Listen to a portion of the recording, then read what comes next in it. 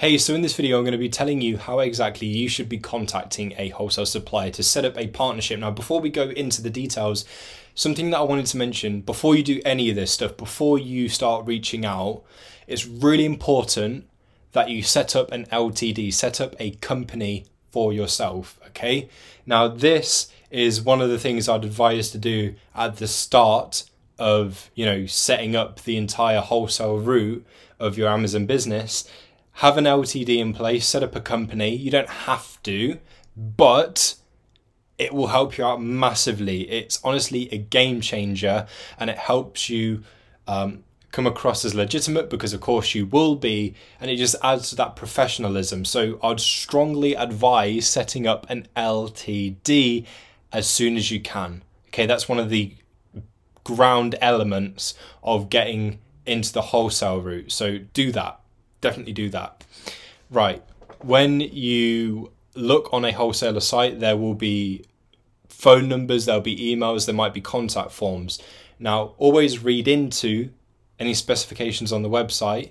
So here it looks like they would actually prefer for you to fill in a contact form to send an email. They'd rather you do that than over the phone. It looks like any urgent inquiries. So I wanted to use this example to show you that not um, that phone calls aren't always the preference. Though, if they don't specify anything like this and you have the choice between email or phone, I would always say go with the phone approach because it will A, help you come across as more professional, like because you have that confidence to call them up. They can ask you questions on the phone. You can even ask them questions on the phone. You can present everything with your tone and mannerisms. You help get across that professionalism, right? And you can get so much more done on that phone call than back and forth back and forth back and forth with emails. And of course with emails as well you have to be quite on it because you need to appear interested. Um, and of course it's in your best interest to get a pay, to get a partnership set up as soon as possible. So that's another reason to be on it with the emails as well. Not only to impress them but to get a partnership set up so you can actually get started with wholesale. Um, so with a call you might even find by the end of the call uh, they're like, yeah, we'd love to do business with you. Uh, just do X, Y, and Z, and then we can do that. Or yes, uh, we'd actually be interested in that prospect.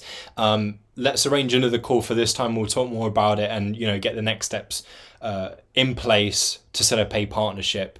So through a phone, a lot can be accomplished do phone calls. Don't feel embarrassed. Don't feel nervous. Just go ahead and do it. You might feel a bit Ugh, inside, but go ahead and do it. It will build up your confidence massively, and each time you do it, you'll get better and better and better and better until calling up a wholesale supplier will be absolutely no problem for you.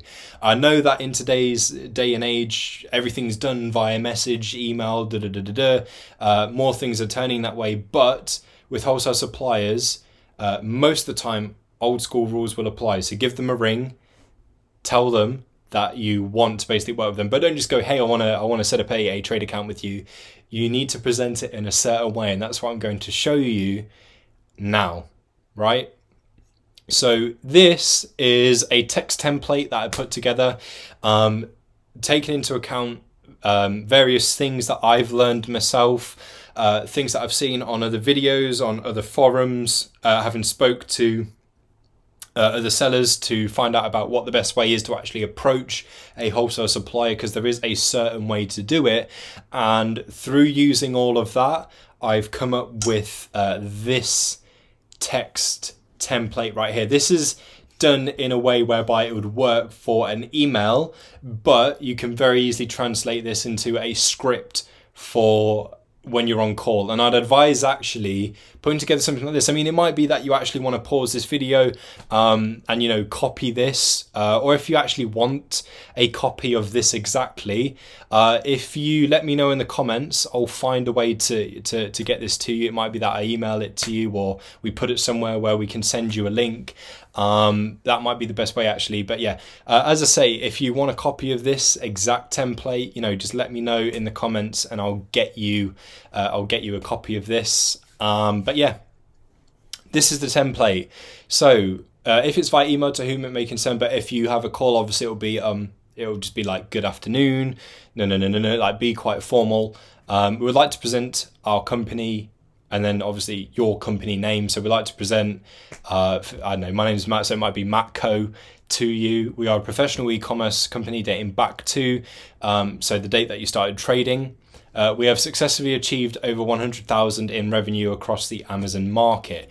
If you feel they are funny about Amazon sellers, so if you have an inkling, and most of the time you have to be quite subtle about being an Amazon seller, uh, as I mentioned in the previous video about finding uh, wholesale suppliers, most of them are basically funny about if they deal with Amazon sellers right? Um, so if you feel that way, I mean, as I say, it's probably best, it's best practice to keep that as subtle as possible. Uh, you might just refer to sales across your own website if you have one. So definitely set up a website. When you set up an LTD, set up a company, um, you'll probably want to set up a website as well. Um, or maybe have a dummy one in place or something like that until you get a proper one. Uh, in the United Kingdom, Germany, France, Italy, Spain, any marketplaces that you sell in, our products widely range from those within, uh, say, from health and beauty all the way through to toys and games or whatever you know the the, the bigger categories are that you sell. Um, your company is a good fit for us due to how well known it is and the fantastic ranges that you offer. Uh, you have to grease their palm a little bit um, but not too much, and we can certainly benefit from each other in a trade partnership. Uh, we believe that your products have amazing potential in the markets that we target. We would like to extend our interest in investing in your company by buying your products and to start a new business relationship. Here are some examples of a few of the items that are of interest to us, which we found on your website. So if you just let them know the names and maybe add in some links for a couple of the products that you're actually interested in? Because in theory you'll only want to buy from them and start a partnership if there's actually something that they have that you want. So you'll need to do this anyway. In fact you should want to do this because you need to you know it should be a wholesale supply they actually want to get something from not just for the sake of owning a partnership. So you know just a couple of examples you know, two three two or three to five at the most in order to show that you're serious and you've actually looked into the site, looked at products, you've got an idea of what you know what exactly it is that they want. Uh, sorry, what exactly is that you want. By allowing our company to sell your products, we'll be able to further distribute, reach new grounds, and promote your brand on the market, especially if you can make shipments and or sell at wholesale at wholesale prices. If you're interested in this opportunity and accepting new partners or have any specific questions for us, please get in touch. Thank you very much. We hope to receive a response from you soon. If you'd like to call to discuss further, our contact number is da da da da da. Um, but obviously, if you're calling them up, you don't have to say that bit there. Um, you know, if you translate this into a script that sounds right when you're on call, because you're not going to say this at the start, you're not going to say best regards.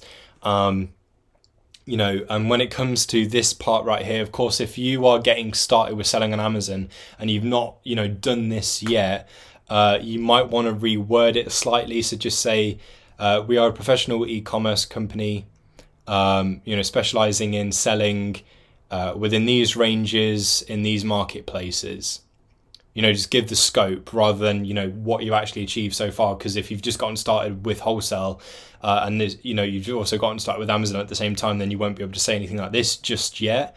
Um, but yeah something like this and that's how you should talk on the phone.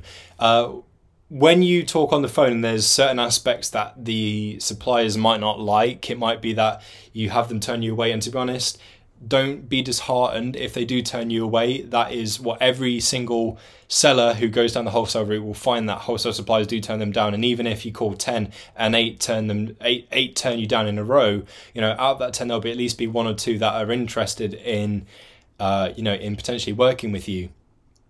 So don't be disheartened, you will be turned down, but that's just the way that it goes. You will get suppliers that do want to work with you. And you'll learn, with each call, you'll learn what's some of the better things to say, what some of the not so great things to say, and you can, you know, tweak that as to what works. They, you might have a call and they might not like, uh, you know, they might not like, uh, they might not be particularly keen on the on the categories that you sell in. So okay, um, maybe try changing the categories that you mention or uh, maybe take that section out or you know different you know it'll work differently for everyone and you will only be able to know that through trying it yourself and refining your script uh, what exactly you say. Um, there'll be things that they might ask they, there's things that they might ask for and you think okay they've asked me this so i'll include this in my script for uh, next time. So that way i just you know say it and they don't have to actually ask me. Um, and then that to them will come across as more professional. You've got it all together, da, da, da, everything that they'd want to know. Um, but yeah, keep trying. Also, you might find that you get turned down a little bit more when you're non-VAT registered because there's some wholesale suppliers. I'm not saying all, but there are some wholesale suppliers that are funny about if you actually have like a VAT number and things like that. So um, yeah, if you are non-VAT registered and you call them and they say no, keep a note of them and it, when you at the point when you do go VAT registered and when you do go VAT registered actually when you're close to that and you're knowing you know that you're past that threshold uh, then you want to make sure that you are making enough to push you far past that threshold rather than just bubbling around it. Because to be VAT registered and such obviously there's going to be uh, is gonna is gonna be different for you.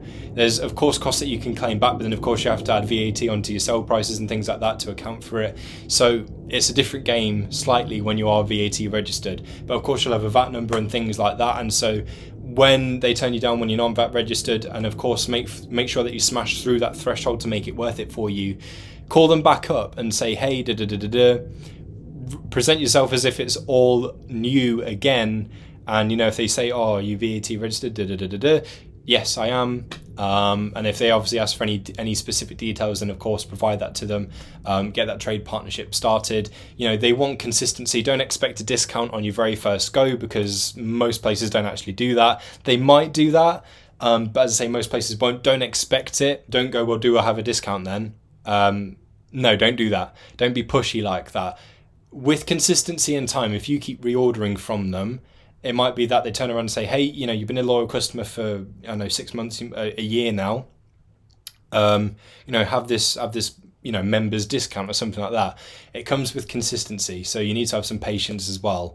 But yeah, hopefully that gives you a good idea of how exactly to contact a supplier. Thank you for watching, and I'll catch you soon.